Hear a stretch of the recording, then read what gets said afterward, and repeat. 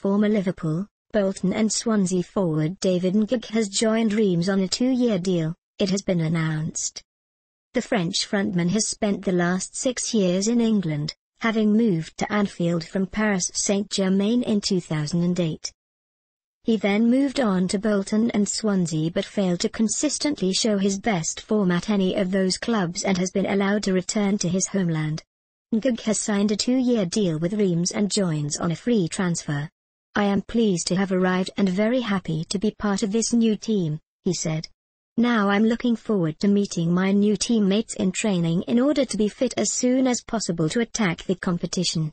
Read more at http colon slash slash talksport.com slash football slash ex Liverpool striker joins French side 1409 01111331 hash LQ5K3 Ekbextxlt 8.99